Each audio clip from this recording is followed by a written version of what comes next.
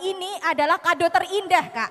Kado terindah. Betul, karena ini adalah Gema Nusantara. Kita akan membawakan lagu dari Aceh Sampai, sampai Papua. Betul sekali, dikemas dalam suatu Gema Nusantara. Nusantara yang diaransemen oleh Septian Cipto Nugroho, salah satu mahasiswa Universitas Negeri Semarang. Wow, luar biasa ya ini Universitas Negeri Semarang itu menghadirkan banyak-banyak arranger ya. Banyak arranger, banyak bakat, semuanya ada di sini. Betul, dan langsung dikondakteri oleh Bapak Agustinus Arum Eka MSN. Dan hadirin yang berbahagia, inilah sebuah kado spesial untuk konser kebangsaan Gema, Gema Nusantara. Nusantara.